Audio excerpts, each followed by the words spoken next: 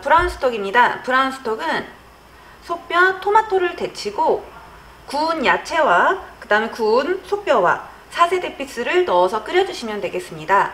sachet d'épices가 저희한테는 되게 생소해요. 먼저 한번 만들어 볼게요. 월계수잎 그 다음에 이렇게 모처럼 생긴 게 정향이죠.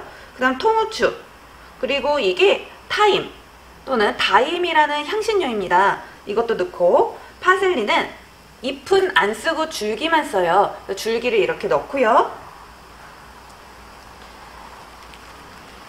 면실로 묶어서 향신료 주머니를 만들어 주시는 거예요. 이게 4세 대피스예요.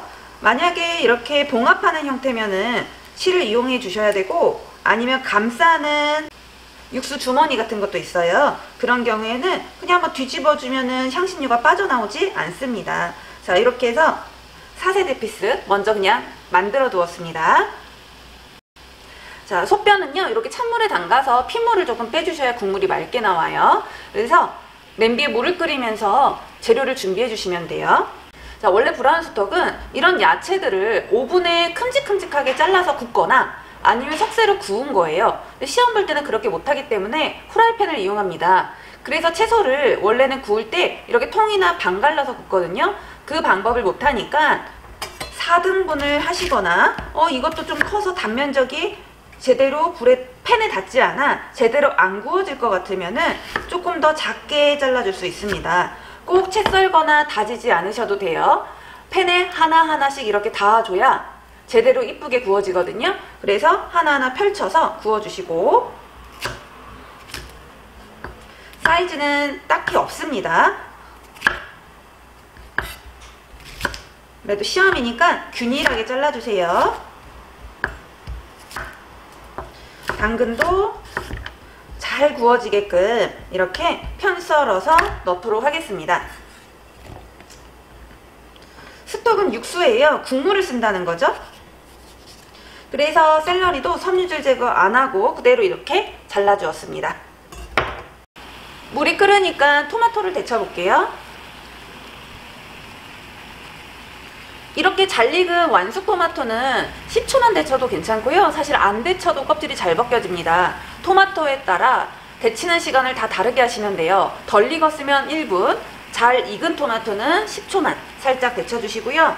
뜨거우니까 찬물에 한번 헹궈서 씨와 껍질을 제거하겠습니다. 껍질이 그냥 이렇게 벗겨져요.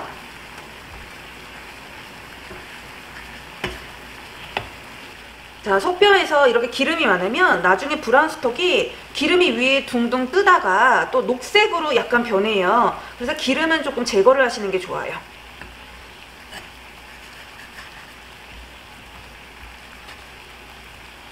그 다음에 끓는 물에 데치겠습니다.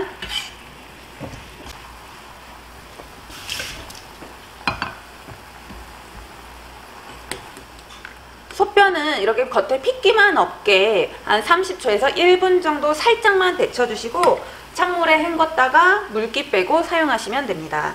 근데 오래 데치면 국물이 훨씬 깨끗하긴 합니다. 근데 시, 원래 정석은 겉에만 살짝 핏기만 빼주시면 돼요. 이제 채소들을 구워볼 거예요. 4세대 피스와 토마토는 안 구울 거고요. 브라운 스톡에 식용유와 버터가 있습니다. 식용유는 소뼈를 구우라고 주는 재료입니다. 따로 구울 수는 없으니까 이렇게 기름을 두르고 소뼈를 넣었고요. 그 다음에 한쪽에는 또 버터를 둘러볼게요. 약간 버터 한 작은술 미만으로 넣고 그 다음에 양파, 당근, 샐러리를 모두 넣어주시면 됩니다. 불은 센 불에서 중불 사이 왔다 갔다 하셔야 돼요. 센 불로만 하시면 과열이 돼서 요즘 가스렌지는 불이 꺼져요. 그래서 이렇게 연기가 나면 불을 조금 줄여주시고 그 다음에 이제 연기가 좀 없어지면 다시 좀 켜주시고 센불, 중불 왔다 갔다 해주세요.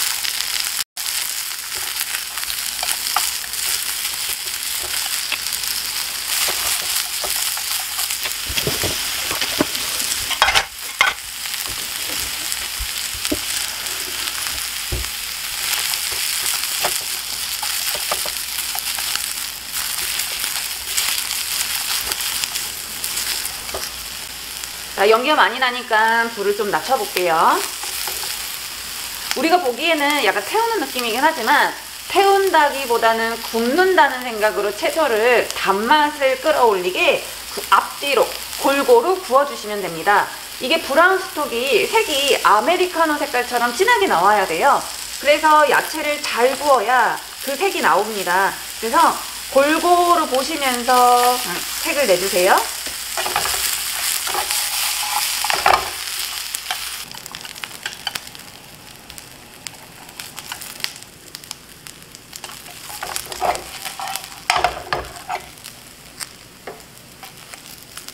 자, 이렇게 야채가 잘 구워졌습니다. 그렇게 타지도 않았고요. 잘 구워진 채소로 스톡, 육수를 끓이면요.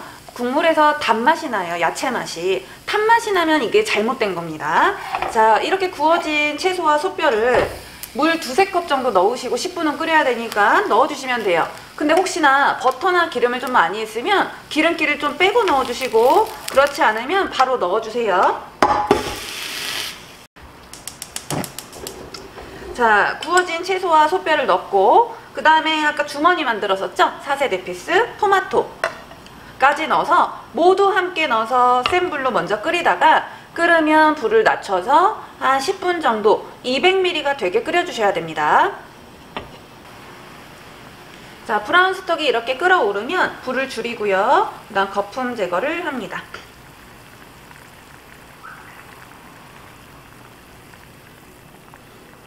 그래서 야채 색이 우러나올 때까지 아직은 색이 좀 안 우러나왔죠? 조금 더 끓여볼게요. 우러나올 때까지 끓이고요. 반드시 200ml 나오도록 국물량 맞춰주세요.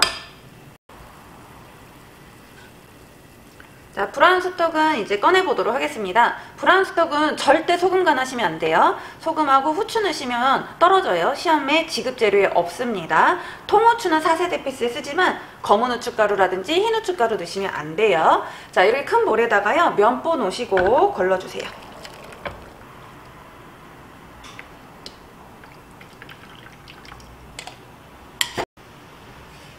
자, 200ml 계산해 보겠습니다. 200ml 꼭 넘치게 내주세요. 딱 200이라고 냈는데 가다가 흘려서 200 안 되는 경우도 있더라고요.